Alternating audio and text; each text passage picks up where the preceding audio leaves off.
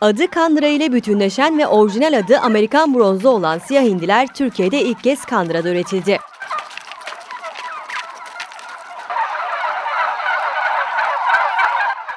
Yılbaşı sofralarının vazgeçilmezleri arasında olan hindi yetiştiriciliği eski cazibesini kaybetti.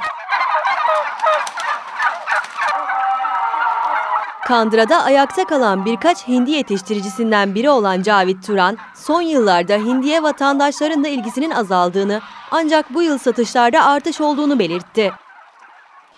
Ee, satışlarımız bu sene geçen seneye nazaran biraz daha güzel. Ee, şimdi bizimkisi artık kendimizi met etmemize gerek yok. Malımız bizi met ediyor.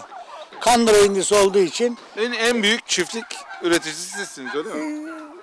Hemen hemen biz sayılırız. Biz sayılırız. Yaklaşık 2000 civarında hindimiz var. Tabii köylerde hobi olarak 40-50 yapanlar var. Yılbaşı öncesi Kandıra'ya sırf hindi almak için gelen vatandaşlar olduğunu söyleyen et ve tavuk ürünleri satıcısı Ender Yıldız ise bu yılbaşı öncesinde İstanbul, Bursa, Sakarya, Bolu ve Yalova gibi çevre illerden sadece hindi almak için çok sayıda vatandaş geldi. Geçtiğimiz yıllara oranla bu yıl satışlarımızda patlama yaşanıyor dedi.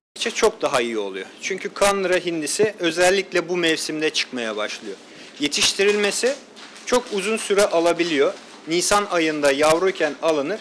Ancak bu mevsimde yetişir kandıra hindisinin. Kandıra hindisinin ünlü olmasının nedeni de bu mevsimlerde çıkıp tezgahlarımıza çıktığı içindir.